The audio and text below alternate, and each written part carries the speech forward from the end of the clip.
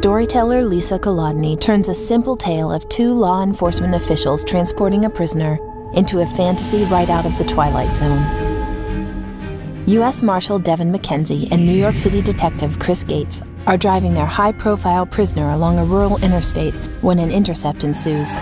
Their van is wrecked, and the two are left injured and isolated on a night when the aurora borealis is at its brightest.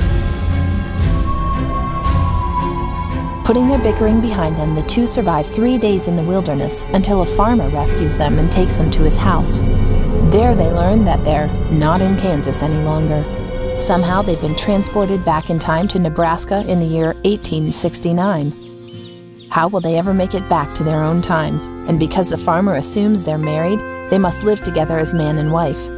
After three months of this, they're either going to go crazy or learn to live with each other in a time when just surviving was a full time job. The plot twists and turns in the book's whopping 700 pages, which are filled with mystery, romance, and enough plots to span nearly 150 years. Add in the violence prevalent in the good old days, and you'll discover what it was like in the town time forgot. Available at Amazon.com and other online retailers, as well as directly from the publisher.